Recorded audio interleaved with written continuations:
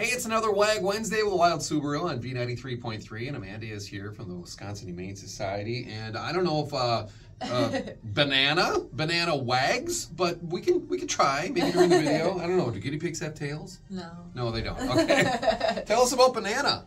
Banana is four years old. She's super, super sweet, and she's so adorable. Um, her little eyes match the, the little Santa hat. That's why we did that. So They're Christmas cute. eyes. Hello.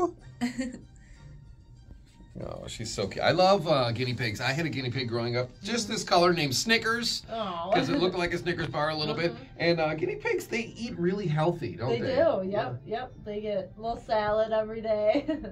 Yeah, they're pretty easy to take care They of. are, yes. uh, you know, so if somebody's looking for a guinea pig for Christmas, you know, maybe their kids have been asking for one forever. Yeah. What do they need to know about a guinea pig? yeah, um, they do good in pairs. They're pretty social animals. Um, she actually um, came in with um, another female guinea pig, so those two can go home together. What's the other one's name? I don't know. I, I should have looked it up because we were thinking about it. in the other Grapefruit, orange. you know.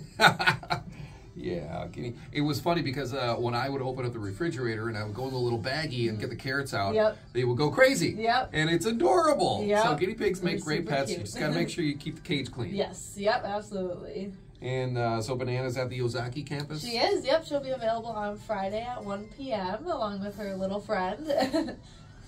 This sounds like uh, last minute shopping to me. Ozaukee campus, and you have a lot of other animals there as well. oh yeah, we have a lot right? of good dogs, cute kitties. Um, we have some bunnies available as well. So And what is the adoption fee for guinea pigs? um, it's twenty five dollars Okay. for a guinea Oh, pig. she- that's so cute for banana. She's so cozy in here. Oh my gosh, can I? I She want to see if I can pick her up, just so you can see banana. Look at that! Isn't that adorable? Oh my god! Oh my god! What's happening?